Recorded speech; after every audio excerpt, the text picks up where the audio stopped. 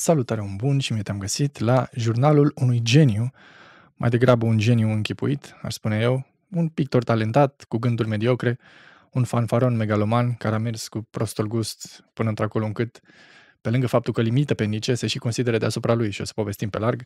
E o carte bună pentru oamenii de, pentru copiii de 17 ani, să zicem pentru o brăznicie a geniului tinereții, dar să te entuziasmezi la 35 de ani, să zicem, la 40, spre, spre 50 chiar, să, să spui, vai, am citit jurnalul unui geniu, extraordinară carte, e, mă jenez numai când îmi imaginez asta. Eu am evitat vreo 5-6 ani cartea asta, din motivele pe care le intuiam cumva.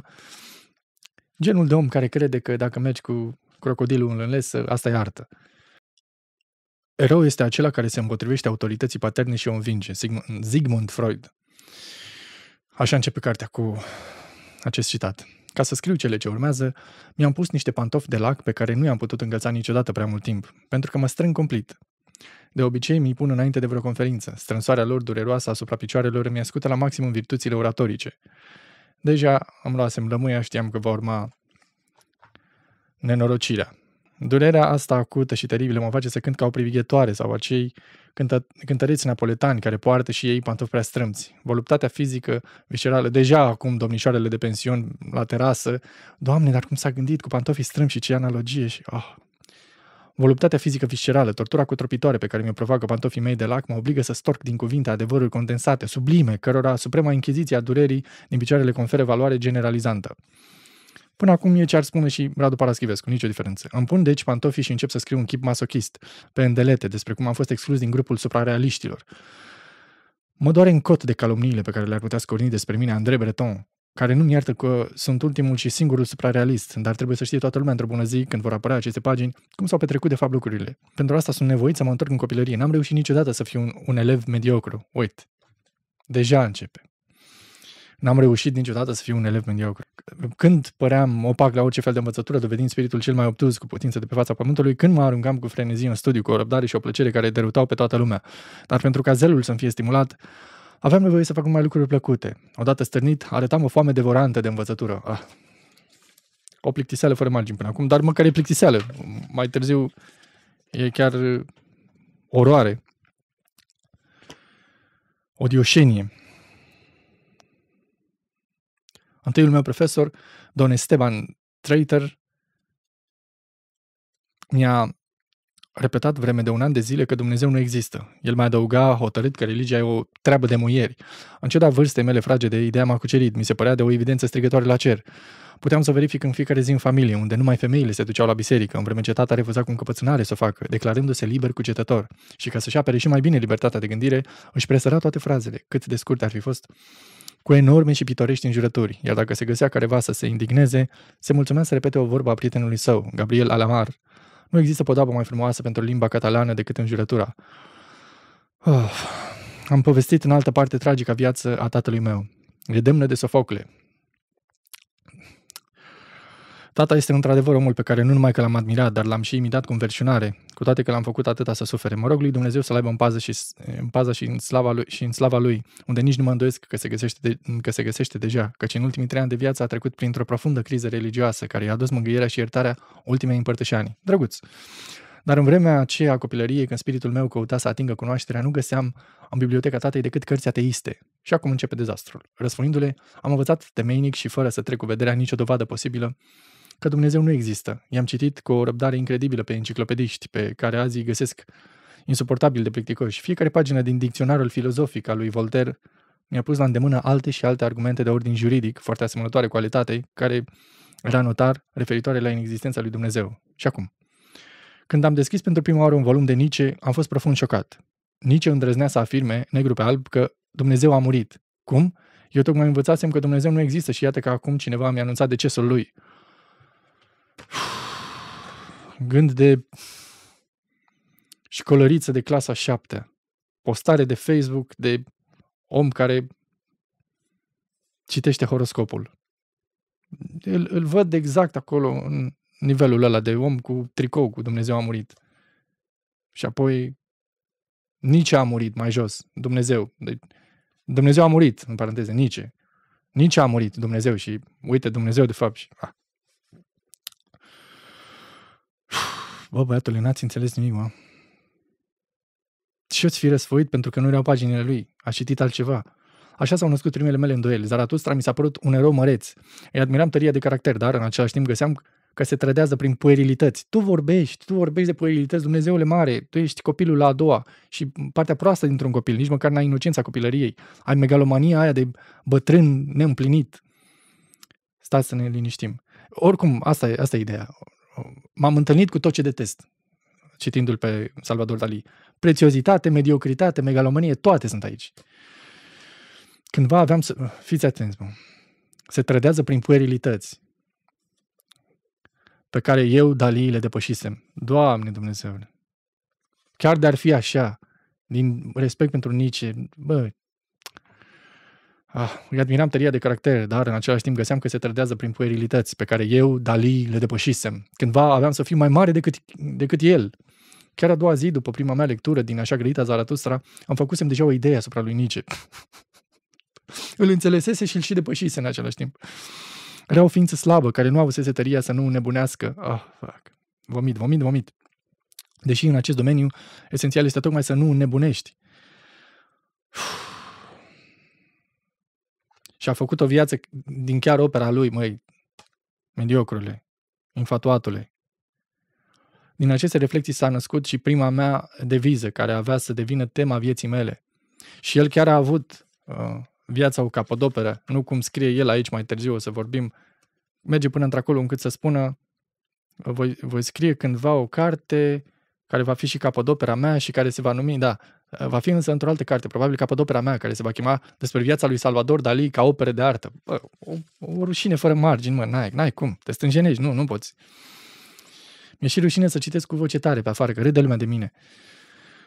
Și când te gândești că bă, e exact idolul oamenilor mediocri, megalomani care cred că arta e să fie așa, să exagerezi și să ai vorbe așa pline de enfază și uite, dar ce, ce interesant, ce... nu spune absolut nimic, numai jelnicii. Cum făceau și ăștia, avangardiștii. Luau un ziar și scoteau pe acolo litere, decupau și făceau un poem și uite ce interesant, cum ne-am gândit noi, inovatori. Niște oameni care n-aveau iubite pe acolo. Măi, virginilor, duceți-vă, măi, aveți și voi momente cu iubita voastră. Lăsați prostiile astea. A, unul mersese și mai departe, luase un retardat și îl pusese să scrie, adică mai și exploatau. E ceva înspăimântător, cea mai jegoasă. Dar nu vreau să, să exagerez. Adică să exagerez. Nu vreau să spun tot ce simt cu privire la chestia asta. Consider că sunt obiectiv, numai că mă deranjează prostul gust de aici. Cândva aveam să fiu mai mare. Adică toți oamenii care n-au niciun talent vin spre chestiile astea și uite, asta este poezia și asta este arta. Nu, domne, nu e arta, doar pentru că e așa o chestie, că mă duc cu un cameleon pe afară la frizer și pui o poză apoi și toate țoapele apoi pun poza aia și uite ce interesant, cum el e poetul și el e, și are poartă pantofi, pantofi inversi, uite ce interesant. Nu, mă, e o mizerie. Nu asta este arta. Nici Dostoevski, acolo e artistul. Psoa, la fel, Fernando Psoa. Nu toate mizeriile astea care, care sunt, practic, ce sunt? Ca, ca filmele astea cu pușcături și nu știu, zorzoane între astea de fațadă, așa de exterior și să pare că e artă. Nu e artă asta. Nu se întâmplă nimic, de fapt, uh, cu esență, știi? Viața e în altă parte, spiritul e în altă parte, nu aici, în chestiile de suprafață. Astea prind, uh, fură ochii oamenilor care sunt mediocri la rândul lor și au dorința asta de a fi și artiști.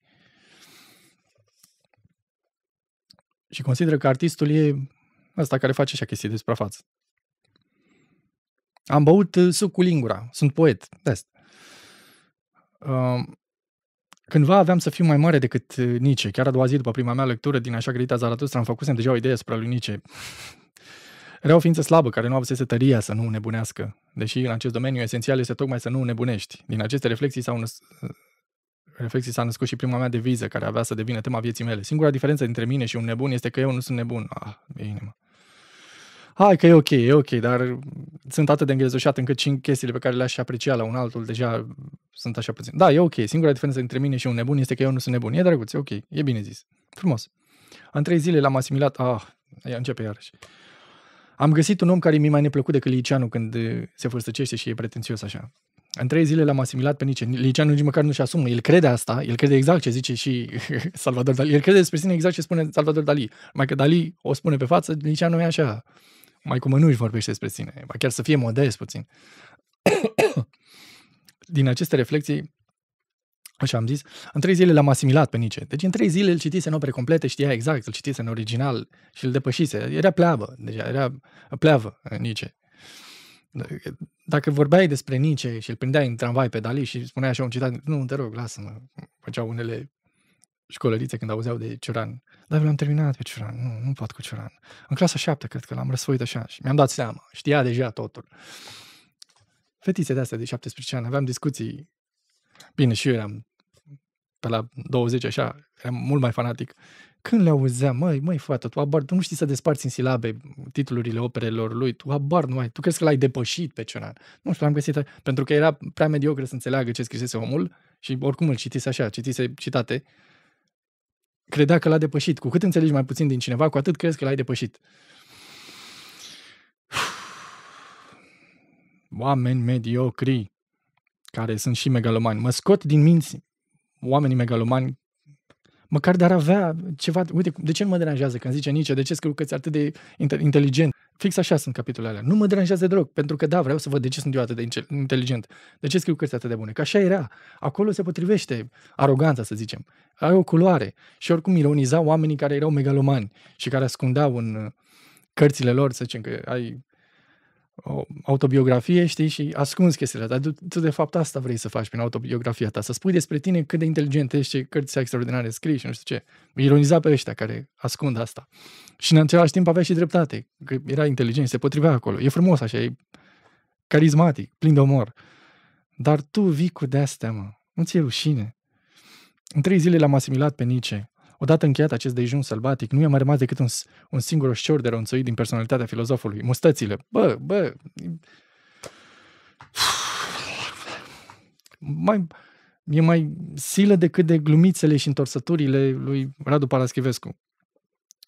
Federico Garcia Lorca, fascinat de mustața lui Hitler, avea să proclame mai târziu că mustața reprezintă constanta tragică a chepului bărbătesc. Și gata, acum toată toată terasa era cucerită de chestia asta lui cu mustață. Ai auzit ce a zis? Ai auzit, dragul, ce a zis de mustață? Și, băi, oameni buni, băi, voi vedeți și mediocritate cu ce avem de face aici.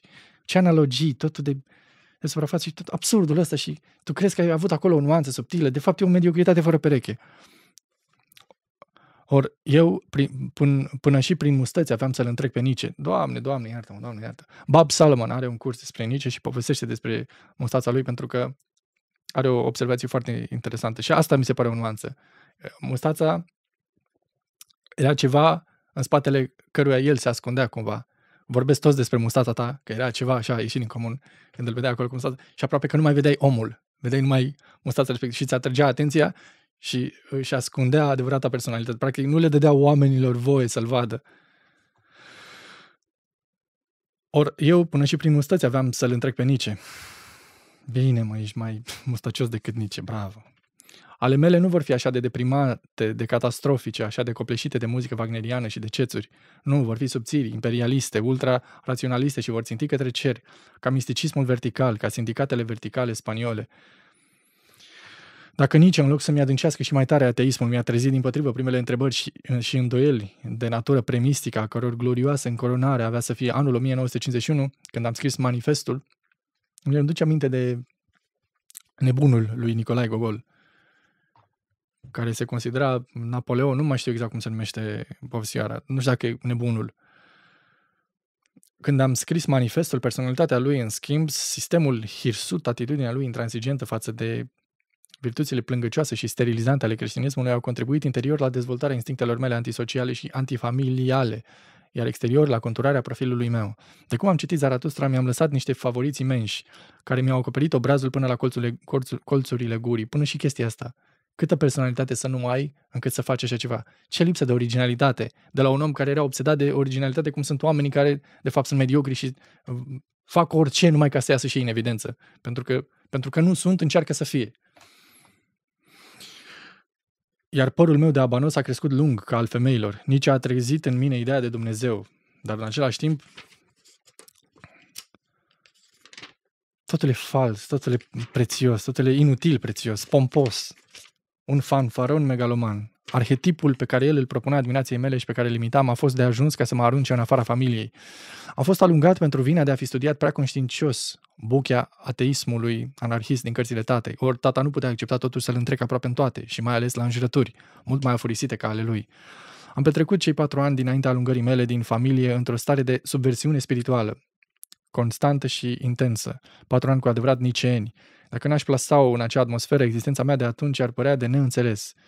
Aceea e și epoca întemnițării mele la Gerona. Atunci mi s-a respins și un tablou la salonul de toamnă de la Barcelona. Cred că era Herona. Uh, pe motiv că era obscen, tot atunci am scris împreună cu Bunuel acele scrisori injurioase la adresa medicilor umaniști și a celor mai prestigioase figuri ale Spaniei, inclusiv la adresa premiatului Nobel Juan Ramon Jiménez. În marea lor majoritate, aceste manifestări erau absolut nedrepte, dar așa înțelegeam eu să-mi afirm voința de putere. Ce copil, ce copil! La modul prost copil, e partea dezastruoasă din copilărie, de care ne bucurăm că am scăpat apoi. Tu ai acum la vârsta asta și să-mi demonstrez mie însumi că eram imun la remușcări. Supraomul meu avea să fie pur și simplu o femeie, suprafemeia gala. Ah, fuck. Subliniase mai mult, dar nici nu știu cum să mai continui.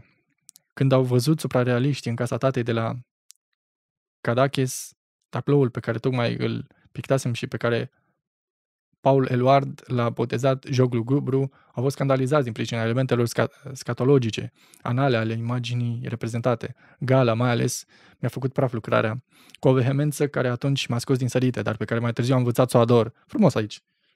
Uite, menține-te aici, menține-te în zona asta. O vehemență care atunci m-a scos din sărite, dar pe care mai târziu am învățat să o ador. Frumos. Mă pregăteam să intru în grupul lor. Le studiasem cu atenție puricându-le lozincile și temele. Mă socoteam edificat. Era vorba de transcrierea spontană a gândului, fără niciun control din partea rațiunii, a esteticii sau a moralei.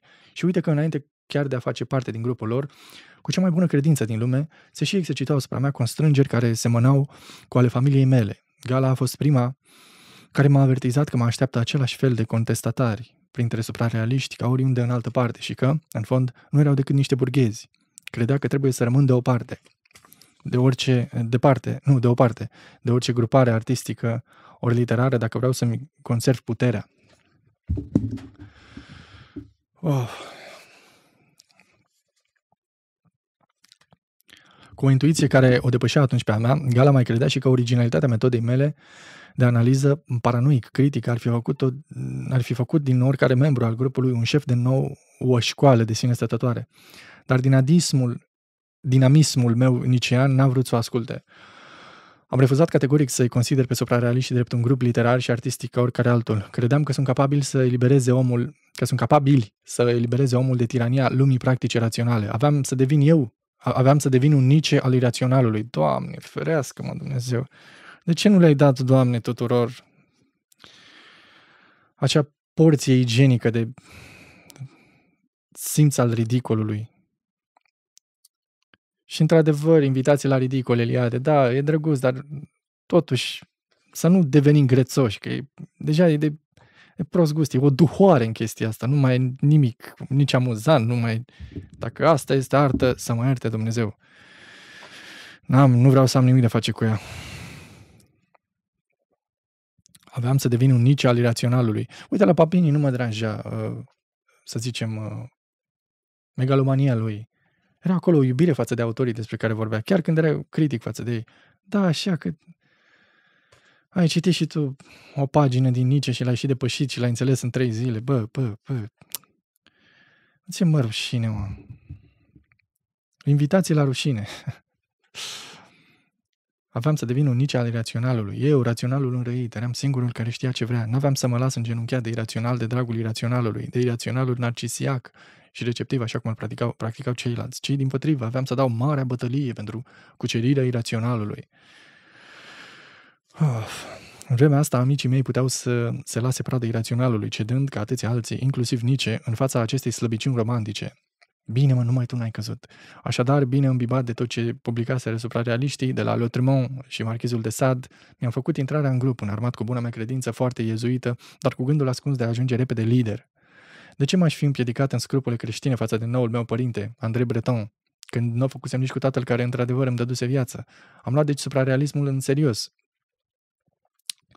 fără să neglijez, neglijez nici sângele, nici excrementele de care erau pline ochi toate diatribele lor. Cred că o să fac cândva un clip despre suprarealism. Dadaism, avangardism și alt, alte de-astea. Și tot ce nu e artă. Așa cum mă silisem să ajung un ateu de săvârșit citind cărțile tatei, am fost un ucenic atât de studios între ale suprarealismului încât în scurtă vreme am devenit singurul suprarealist integral, într-atât încât am fost expulzat din grup pentru că eram prea suprarealist. Motivele invocate mi, s-au, mi s-au părut a fi de același soi cu acelea pentru care fusesem exclus din familie. Gala Gradiva, cea care înaintează, imaculata intuiție, avusese încă o dată dreptate. Azi, pot să spun că, dintre toate certitudinile mele, numai două nu se explică prin propria mea voință de putere, credința în Dumnezeu regăsită după 1949 și faptul că Gala va avea întotdeauna dreptate când e vorba de viitorul meu. Când Breton a descoperit pictura mea s-a arătat ciocat de elementele scatologice care o maculau. Am fost uimit de una ca asta. Debutam în plin că puncte, puncte, puncte, ceea ce, din punct de vedere psianalitic, putea fi interpretat ca o bună prevestire relativă la aurul care amenința, din fericire, să mă acopere. Viclean am încercat să le bag în cap suprarealiștilor că amărând, ca amănuntele mele scatologice aveau să poarte noroc mișcării. Degeaba am invocat ca argument întreaga iconografie digestivă prezentă în toate epocile și la toate civilizațiile. Găina cu ouăle de aur, delirul intestinal al Danaiei, măgarul care făcea balegă de aur, nu s-au lăsat convinși. Eu eram, însă, eu eram însă hotărât, dacă nu voiau să accepte că puncte, puncte, puncte, pe care atât de generos li-l ofeream, aveam să-mi păstrez bogăția și aurul numai pentru mine. Ah. Ce am mai subliniat pe aici? Am o idee, o idee care va scandaliza toată lumea și mai ales pe suprarealiști. Nimeni nu o să poată zice nici pâs. L-am visat de două ori pe noul Wilhelm Tell, pe Lenin. Vreau să-l pictez cu o fesă de 3 metri lungime, sprijinită într-o cârjă. Pentru asta am nevoie de o pânză de 5 metri și jumătate. Am să-i pictez și apendicele liric, chiar dacă mă expulzează suprarealiștii. Am vrea o să țină un băiețaș, care sunt eu, dar are să mă privească cu ochi de canibal, iar eu o să strig, săriți, mă mănâncă. Oh, da. Nu pot, mă, nu pot, nu pot, cu așa ceva nu pot. Nu este stilul meu, nu știu. Îmi vine să vomit de fiecare dată când citesc chestii de genul. E o jenă infinită. Delirul mi se fixase pe personalitatea lui Hitler, care mă părea, mi părea întotdeauna ca femeie. Te-ai fi gândit, oh my god, uite cât de interesant, și cum și ca femeie, și uite cum e el cu dictatorii și e și interesant. Nu știu, mă simt uh, Caligula și hai să-i desenez fesa și mă ținea, e de fapt fratele meu și am făcut sex, că era femeie el și bine mă, bine, ești interesant. Spune și tu ceva. Ai și tu ceva de zis. În afară de mustața aia pe care ți-ai pus-o pentru că ai citit puțin din nici și n-ai înțeles nimic din el și consider că ești deasupra lui, tu mai știi ceva. Pictor talentat și gânditor mediocru. Asta ești. Taci din gură că ești un fanfaron. Delirul mi se fixase pe, pe personalitatea lui Hitler, care apărea întotdeauna ca femeie. Parte din tablourile pictate atunci au fost distruse când au năvălit nemții în Franța. Eram fascinat de pop- popoul moale și rotofea lui Hitler. Hai, hai, hai, nu mai zice nimic. Hai, hai mai departe, hai să trecem. Citindu-l pe Dalie ca și când ai mâncat numai semințe mari. Știți, mă, cum când eram mai mici mâncam pungile alea de semințe, nenorocirile alea, că nici nu erau semințe. Și erau, majoritatea erau ok, și apoi te dai de una care avea gustul la amar, de, trebuia să mai cumperi două tone de pungi de semințe ca să treacă gustul ăla Oribil. Ei, așa simt cu jurnalul lui Dali, că am o pungă plină de gustul ăla amar, așa, și iau alta, hai mă, treci mai departe, iau alta, alta, alt pasaj, alt pasaj, și numai așa, numai așa, numai așa. Și mai vine din când în când o sămânță dintre aia, ok. Îmi dă mai gustul ăla de prețiozitate de asta așa, împuțită. E ca și când aș mânca puter, putregai.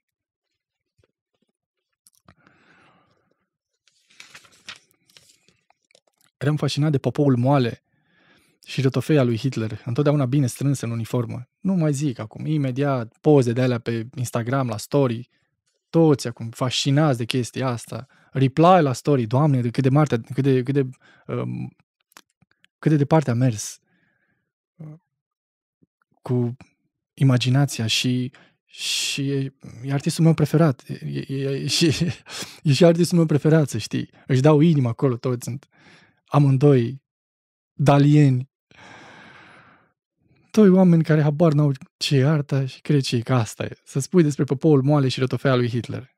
Mii de inimi apoi. Doamne, cât de interesant. Și într-adevăr, uite că nu mă gândisem la asta, dar cine s-a gândit? Cred că e primul om care s-a gândit de poporul, la poporul moale al lui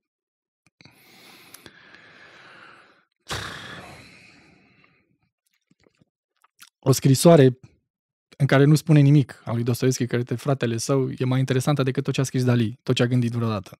Dar, repet, un pictor talentat. Dar rămâi, frate, acolo. Rămâi în zona ta. Nu te băga tu. Ești marele Dali, tu ești geniu. Ce prost gust să spui. Jurnalul nu e geniu. Bine, mă. Și fără pic de ironie, adică el chiar credea asta. În fine. Eram fascinat de popoul moale și rotofea lui Hitler, întotdeauna bine strâns în uniformă. De câte ori începeam să pictez breteaua din piele care, plecând de la centură, trecea pe umărul opus, moliciunea cărnii lui Hitler, comprimată în tunica de stofă, stârnea în mine un soi de extaz gustativ, lăptos, hrănitor și wagnerian, care făcea să-mi bată tare inima. Emoții foarte... Așa ar fi scris Liceanu dacă era mai curajos. Fix asta are și el în el, are megalomania asta, s-ar fi dus acolo care făcea să-mi bate tare inima, o emoție foarte rară, pe care nu o trăiam decât când făceam dragoste. Îmi imaginam carnea aceea plinuța lui Hitler ca pe trupul celei mai divine femei, cu pielea ca zăpada și asta mă fascina. Îmi dădeam seama însă că succesiunea aceasta de deliruri avea o componentă psiho- psihopatologică, de aceea îmi repetam singur cu încântare. De data asta, da, cred că sunt aproape de adevărata nebunie. Oh, fuck. Nu mai lăsați copiii la televizor, mă, că uitați și voi ce se întâmplă. Au văzut prea multe filme, băiatul, și a luat-o pe câmpii. Unul ca mine, care se pretindea nebun de adevăratele. Bă, dar ce telenovele proaste joci tu, mă, băiatule, mă. Zici că ți-ai construit filozofia din show-uri dintre alea cu mireasă pentru fiul meu, din pick-up parties dintre astea. Ce ai, mă? You can dress her up, but you can't take her anywhere. Adică poți să o îmbraci, dar nu poți să mergi niciunde cu ea. Nu mai replici dintre astea așa, hi, hi, hi, ha, ha, ha, și fesa lui Stalin, bine, mă. Unul ca mine, care se pretindea nebun de adevăratele. Toată toată în faza asta, toată, toată duhoarea asta. Eu sunt nebun, Mirela, eu sunt nebun, de adevărat, uite, urc scările invers, nu, nu, nu mă poți opri. Bine, mă, bine.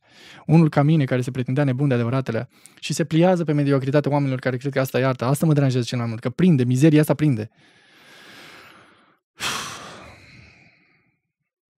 Trebuie să revenim la, cum zicea nebunul din nostalgia.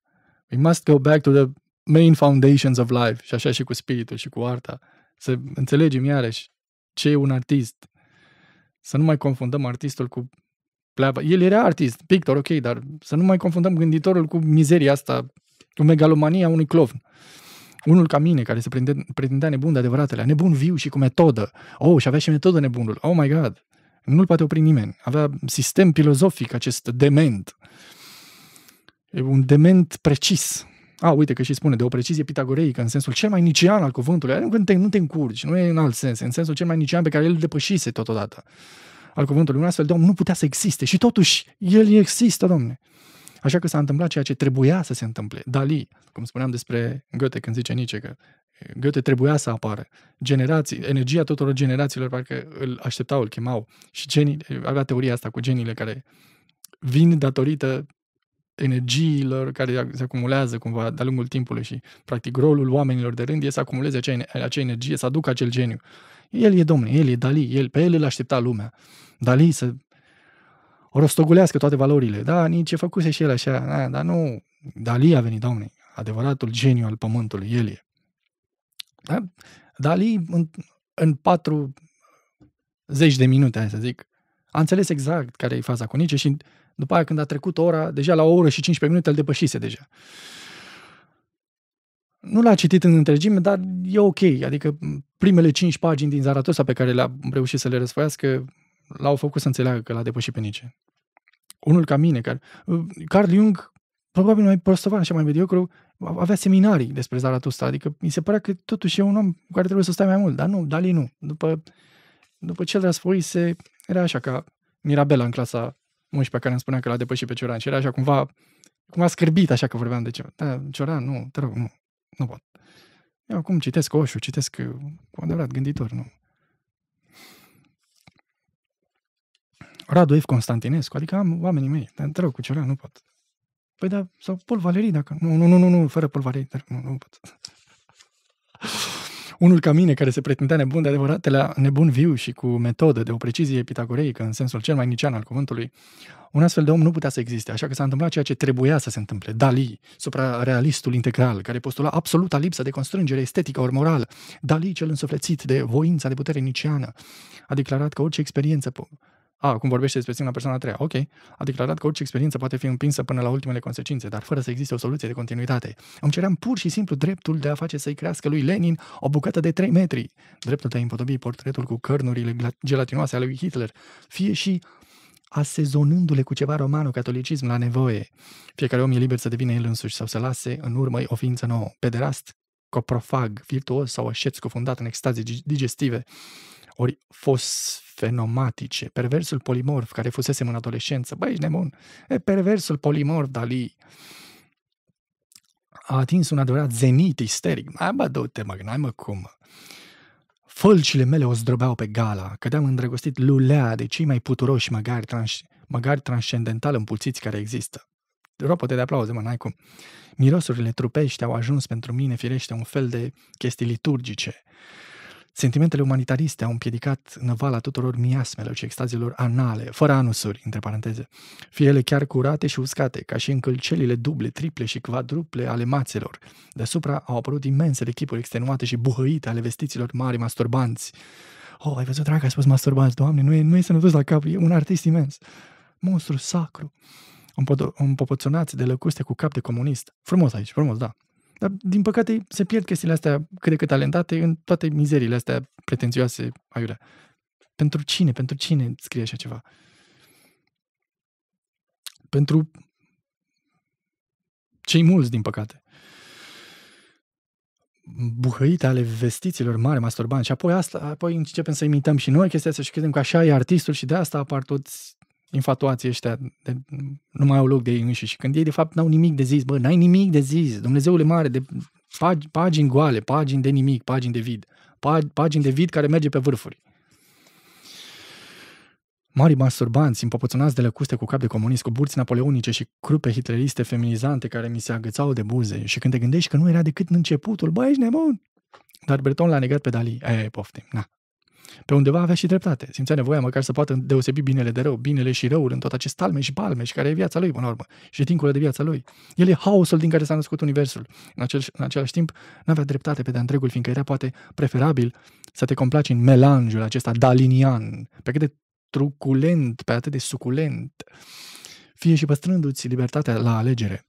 Greșea totuși pe undeva, pentru că Dali ținea să cunoască iraționalul până la capăt, ca un raționalist absolut ce era. Și asta nu ca să descopere un nou repertoriu literar și uman, ci tocmai din potrivă, ca să adune la un loc și să supună iraționalul abia cucerit. Bam! Te-ai fi gândit, mă? Nu te-ai fi gândit.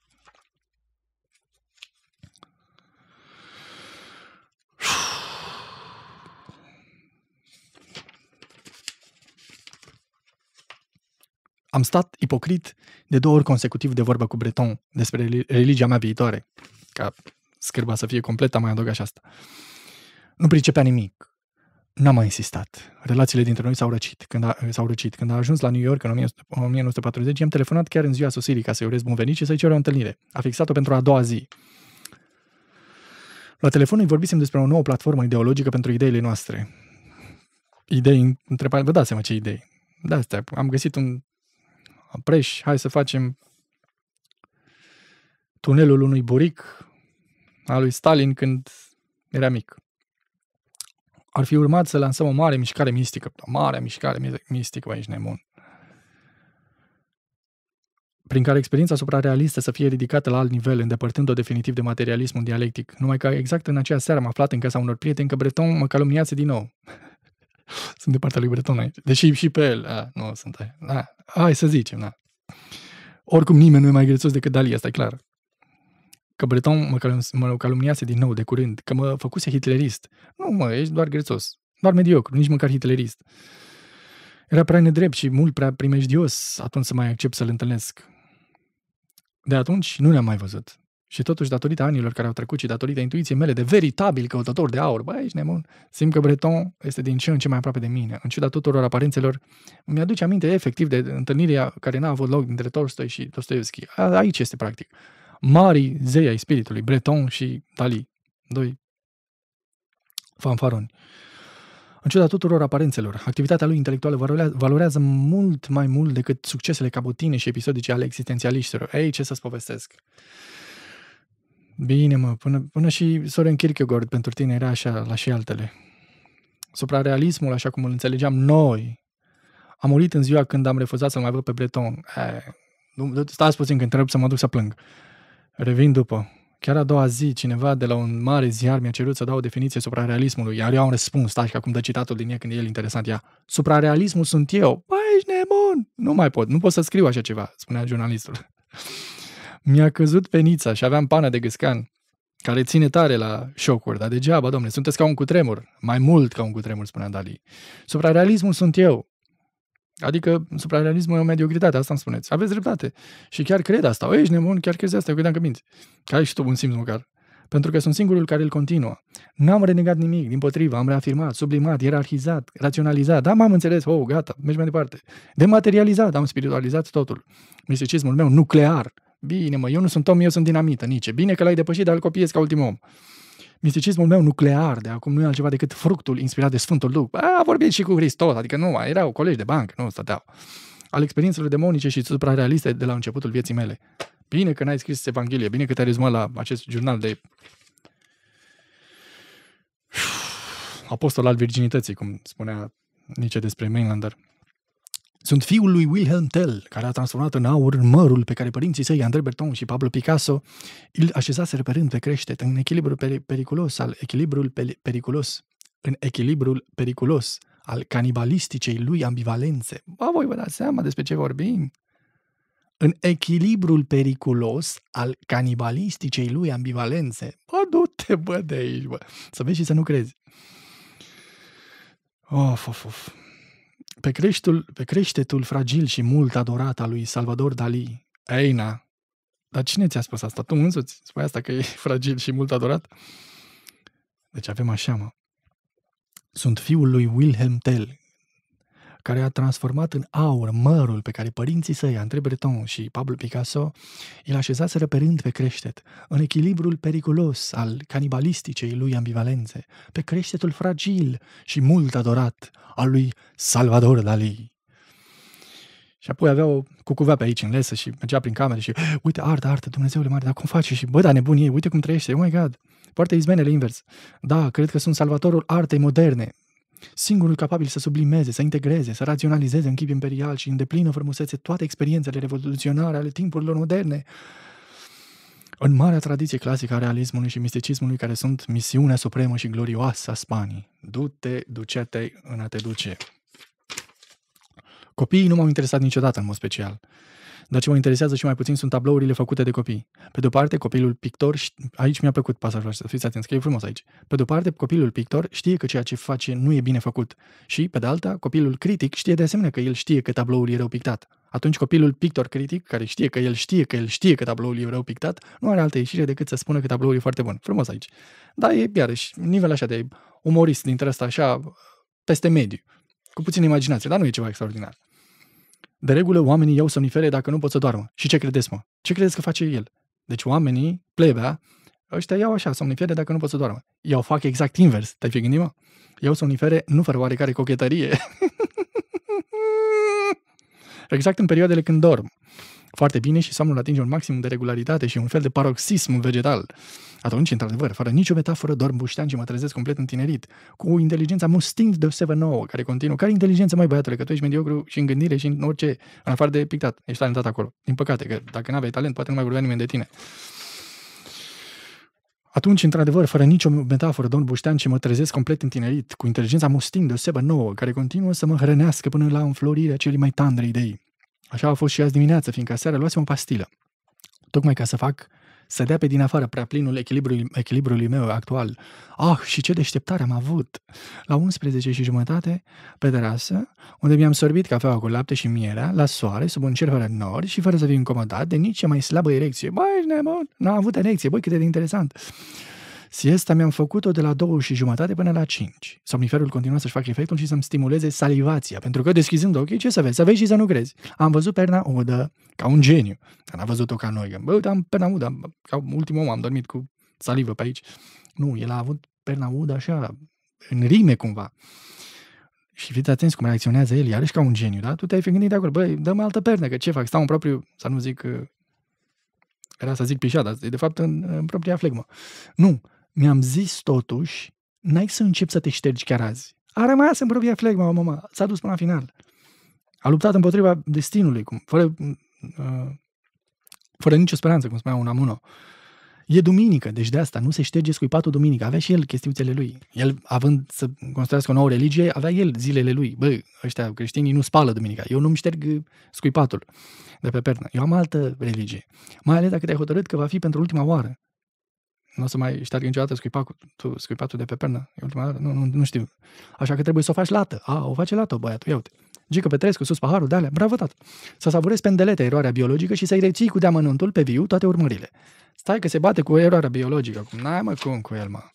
Deși el nu era, el era practic în sine un miracol, totuși avea și el erorile lui biologice, pe care le corecta, avea geniul de a le corecta. Așadar am fost trezit la 5. Cine crezi că bate la ușă? Sosise meșterul zidar Prignou să mă ajute să trasez cotele geometrice ale tabloului meu. Ne-am închis în atelier până la ora 8. Până la ora 8. Eu am stat așezat și am dat ordine. Mai fă un octaedru, dar mai a plecat. Și acum încă unul, concentric și așa mai departe. El, silitor, agil ca un prozaic, ucenic, florentin de altă dată, bai, ești nebun, executa totul îndată aproape în ritmul în care îmi veneau ideile. Fiți atenți acum. S-a înșelat de trei ori la calcule și, de fiecare dată, după ce m-am uitat cu atenție, am slobozit câte un kikiriki strident care Cred că l-a cam pus pe gânduri. Bă, stai nebun? Nu, n-a zis așa. Kikiriki e strigătul prin care îmi exteriorizez, exteriorizez eu paroxismele. E o cetățenie a firii lui, înțelegeți, mă? Kikiriki nu e așa cacamaca. E un, e un cununare a paroxismului, până la urmă. Vorbim despre Dali, da? Nu oricine, băi. E strigătul prin care îmi exteriorizez eu paroxismele. Dacă mergeți pe stradă, vă luați pâine pe afară și auziți un kikiriki, să fugiți că e Dali, vine nebunul peste voi cu paroxismul. Dar cele trei erori s-au dovedit a fi de natură sublimă. Și ar veni cu un cactus în lesă, cu teale de ale lui. Dar cele trei erori s-au dovedit a fi de natură sublimă. Ia, nici nu se aștepta. Uite bă cum a ieșit sublimul. Ele, deci erorile astea, realizau instantaneu exact ceea ce mintea mea tocmai dibuia. El înțelesese ce avea să-l surprindă deja. Băi, voi înțelegeți unde suntem aici? Ele realizau instantaneu exact ceea ce mintea mea tocmai dibuia. Când a plecat Prigno, adică mediocritatea, plebea, și a rămas el cu genul lui, am rămas în penumbră, visând, a rămas el cu visul. Am scris apoi cu cărbune pe marginea pânzei aceste cuvinte pe care le transcriu în jurnal. Transcriindu-le, mi se pare din ce în ce mai minunate. Fiți atenți acum, cuvinte de alea de brioșe pe care le găsești la gare, de e prăjitură expirată și vrea să te atragă cu citatul ăla de lângă ea. Aproape întotdeauna greșelile au ceva sacru. De aceea, nu încerca nici când să le îndrepți. Astea sunt citatele alea false și apoi pui, e scris de Doina, de fapt, citatul, și pune Emil Cioran la final. Aproape întotdeauna greșelile au ceva sacru. De aceea nu încerca nici când să le îndrepți. Din potrivă, conștientizează-le, înțelege-le până la capăt. Ai să le poți, apoi sublima. Preocupările geometrice tind către utopie și influențează negativ erecția. De altfel, e știut că toți geometrii sunt extrem de puțin excitabili. Băi, băiatule, ce poți să... Unde să mergi mai departe? Și nici nu o să mergi mai departe. Voi citi, dar voi citi toată cartea și dacă mai e ceva... Pentru că așa să mă enervez nu pot. Adică e, e o prostie. E stupid să... E, e, practic, făcând acest clip, am simțit că mă dau cu capul de zid la infinit, fără niciun sens nu vă ofer nici vouă nimic. Pe unii vă mai amuz așa, că mă enervez eu, dar mă, mă, eu chiar mă consum pe chestiile astea, pentru că eu îl iubesc pe Nice și când văd că e bagiocorit de maimuțoiul ăsta, nu pot. Și practic e împotriva a tot ce iubesc, e, reprezintă tot ce urăsc în materie spirituală. Exact comportamentul ăla de mediocru fanfaron. Nu suport, nu pot. Am aversiune absolută față de așa ceva. Și s-ar putea să fie și în mine ceva uh, sau era când era mai tânăr și s-ar putea să mă enerveze și mai rău cum eram și eu, aveam ceva uh, din, să zicem, puțin sănătoasă nebunie de a crede că nu știu ce și nu știu cum, dar când mai crești, gata, gata, nu mai, nu mai, înțeleg, bine, ești special, ok, bine, hai, noapte bună. Așa că o să citesc eu blestemându-mi zilele și o să vin doar cu ce mi-a plăcut. Dar e bine și să vorbim așa despre el. Să spun și eu opinia, pentru că vă dați seama că toată lumea aproape zeu, nu știu ce, genial, taci, băi, din gură, nu știu. Ok, dar să fie și un retardat în alfabet ca mine care spune, nu, domne, e un căcat. E un căcat. Acest jurnal e un căcat. E jurnalul unui căcat megaloman. Asta e, asta e adevărul. Asta am simțit. Taci că s-a speriat Dali. Să mor tu că așa ai... Băi, băi, ești de mult. De ce am zis? Da. Și, și chestia, cum se îmbracă și, bă, ești un bătrân, bă. Ce dracu ai, bă, de faci așa? Ce te tot izmenești, bă? Asta zici că e născut din izmenelile creațiilor lui Radu Paraschivescu. Așa ar arăta omul care s-ar întrupa. Dar nu, hai, exagerez acum, nu. Ce scuze față Dali, pentru că e un pictor talentat, nu. Și e atât de grețos ce scrie Paraschivescu, că nici nu există. Nu poți să scoți un om din așa ceva. Ar trebui să fie un avort. Bun. Sper că ți-a plăcut cât de cât acest clip. Dacă îți dorești să fac alte clipuri, susține-mă și pe mine cu 15 lei pe Patreon.com și pe canal Liviu. Dacă tu nu mă ajuți, nu o să mai pot să mai apar în fața ta. Dacă tu nu dai 15 lei, eu nu să, nu să mai pot apărea. Am dispărut. De mâine am dispărut. Nu-mi dai acum banii, s-a terminat. N-ai avut 15 lei și ai omorât acest proiect. Tu, cu bună știință, ai omorât acest... Ești un criminal. Asta. Am făcut clipul să spun că ești un criminal. Dar pot să fiu un erou. Donează-mi 15 lei, fii erou. Nu mă glumesc. Dacă vă doriți să pot să continui să fac aceste clipuri și vă ofer ceva cu activitatea mea, susțineți acest cont de YouTube cu 15 lei. Vă mulțumesc. Un like care aș iarăși mult, un comentariu. Ține și voi chestia asta în viață. Că e bine să se audă acolo unii. Dar ce să se audă? Nu sunt mulțumit de clipul ăsta. Nu, nu cred că am promovat chestii, dar cred că m-am împotrivit, așa cum pot eu, cu golăniile mele, cu mediocritățile mele, împotriva unui fel de a fi care nu are nicio legătură cu spiritul. Împotriva maimuțărelii, fâstăcelii, prețiozității astea. Și uite, am uh, roche de mireasă și eu sunt bărbat de fapt. Și nu știu, bine, bine, bine, ești interesant. Uite, scuip în lumânări, bine. Pentru că era ziua mea și nu le-am aprins, le-am udat, bine. Nu, nu pot, nu pot, nu pot. Nu e art, asta nu e art. Știți cum e asta? E exact ce se întâmplă acum prea muzeu, când toți netalentații ăștia fac ei chestii. Uite, merg invers uh, pe o noptieră și apoi toți ea filmează pe acolo. Uite artă, uite, dar cum s-a gândit? Uh, alta pune pișat pe cearșaf și uite, existențialism, când, când te trezești și o să, nu știu, da, idei dintre asta. Oameni care nu, nu se pricep la nimic și, bă, mergeți, bă, la mari artiști, lăsați-mă prostiile astea. Bun. Să fim sănătoși. și înțelegători. Să nu judecăm. judecați, mă, dar judecați cu îngăduință, da? Atunci când e cazul. Dacă nu e cazul, fiți fermi. Spuneți exact ce gândiți. Acum nu a fost cazul. Acum a fost cazul să mă revolciu, să protestez. J'accuse, cum ar spune Emil Zola. Ba. Să trăim și să fim sănătoși. poți, să, poți să nu trăiești și să fii sănătos? da, poți. Eu nu vreau să răcesc nici după ce să mor. Vreau să fiu sănătos și în altă viață. Uite acum cum fac pe Salvador Dali puțin așa, știi? Scopul meu în viață este să nu răcesc pe lumea cealaltă. Jurnal de mai 20 iunie. Du-te, bă, du-te, bă, nu pot, bă, cu așa ceva. În fiecare din noi este un putregai. Este un Salvador Dali. Trebuie să-l omorâm în noi înșine și să mergem cu adevărat la viață. La Dostoevski, la viața vie. La Steinhard. La bunătate, mărinimie. Cum spunea și el. Degeaba le avea pe toate. Cultura, supracultura, diplomele, pe toate. Dacă n-ai puțină mărinimie, puțină bunătate sufletească și aș adăuga și puțin simț al ridicolului, domnule. Lasă arta în pace, dacă nu mai treabă cu ea. Fă-ți acolo picturile tale și taci dracu din gură. L-a depășit el pe nici în trei zile. Cum puteam să nu mă enervez? Cum puteam să nu mă enervez? Eu nu sunt un om rău. Dacă când te aud că spui grozăviile astea, reacționez și eu. Dați-mi voie, domnule. Am pușcați-mă dacă nu sunteți de acord cu mine, dar mi-am spus și eu contul. Am dau viața pentru ce am spus. Mai degrabă, dacă ar fi acum comunism și Dali ar fi dictatorul, asta e. Am dat, spun pe fereastră ce am spus acum în clip, țip pe fereastră să mă omoare, să mă împuște. E atât de important mesajul. O să fie toți împotriva mea. Deja văd blesteme de mamă. Și ce dacă? Trebuia să se spună în univers, trebuia să spună cineva, nu, nu, domne, Ari Mișo, nu, carte, o facem mâine, clip din ea. Acolo sunt câteva sute de pagini de refuz. Omul nu voia să participe niciunde, nu se ducea niciunde, el spunea numai nu, nu, nu, nu, nu. El căuta o secretară care să spună nu în mai multe feluri. ăștia sunt oameni. Ari Mișo a scris trei cărți despre mescalină, îi reproșează și Cioran, dar în fine, asta e altă discuție, mult mai interesantă discuție totodată decât păunul ăsta megaloman. Hai, să fiți sănătoși, aveți grijă de voi și dacă îți doresc să poți să continui, 15 lei pe Patreon.com Mulțumesc!